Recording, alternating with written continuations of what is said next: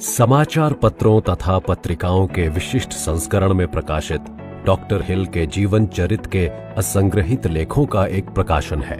संवाददाताओं तथा डॉक्टर हिल लिखित इन लेखों के द्वारा हमें उनके एक प्रेरक वक्ता होने के साथ साथ उनकी लुभावनी लेखन शैली एवं लोकप्रियता की जानकारी प्राप्त होती है। मैंने पाया है कि साइंस ऑफ़ सक्सेस सीरीज़ एक वास्तविक खजाने की तरह है। जिसमें 35 मायामी हेरल्ड लेख तथा 18 अतिरिक्त गहन निबंध हैं, जो एक एक कर सफलता के सिद्धांतों की विस्तृत व्याख्या करते हैं। डॉक्टर हिल्स सक्सेस फिलॉसफी के Napoleon Hill World Learning Centre की छात्रा, अनुयायी, प्रशिक्षक एवं शैक्षणिक निदेशक होने के नाते मैं उनके द्वारा लिखित अतिरिक्त लेखों को तलाशती हूँ। समाचार पत्रों के इन स्तंभों में डॉक्टर हिल अपनी बातों को लोगों के मन मस्तिष्क तक सुगमता से पहुँचाने के लिए अनूठे उदाहरणों का प्रयोग किया करते थे। जिन लोगों ने डॉक्टर हिल की पुस्तकों का रसास्वादन किया है, वे ये जान पाएँगे कि इन लेखों ने दुनिया भर के विभिन्न धर्मनिरपेक्ष अथवा धार्मिक देशों के लोगों पर विशिष्ट प्रभाव डाला है। व्यक्तिगत सफलता किस प्रकार प्राप्त की जा सकती है ये समझाने के लिए हिल ने कई सीमाओं को पार किया। डॉक्टर हिल की जीवन कृतियों की प्रस्तावना के रूप में इन लेखों को पढ़ें।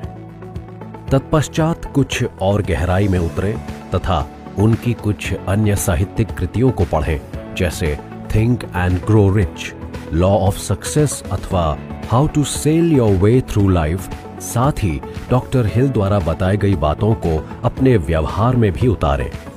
यहाँ उद्देश्य केवल ये सुनिश्चित करना नहीं कि डॉक्टर हिल ने क्या लिखा है, बल्कि जीवन में सफलता पाने के लिए उनकी लिखी बातों को अपने जीवन व्यवहार में उतारना है शुरुआत में आप उनके एक दो विचार ही अपनाएँ, जो आपको सबसे अच्छे लगे हो और जब आपको उनके परिणाम दिखाई देने लगे, तब डॉक्टर हिल की अन्य शिक्षाओं को भी जीवन में उतारते जाएँ और अपनी सफलता का आधार सुदृढ़ करते जाएँ।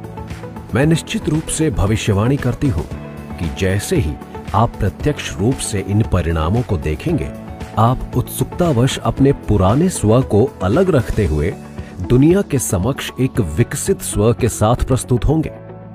ये पुस्तक डॉक्टर हिल के दर्शन का परिचय कराने के साथ साथ उनके पुनश्चर्या पाठ में भी उतनी ही सहायक होगी। लघु निबंध अत्यंत आकर्षक है एवं अधिक प्रभाव के लिए उच्च स्वर में पढ़ने योग्य है। इनमें कोई ना कोई ऐसी बात है जो आपको सदकार्य की प्रेरणा देती है।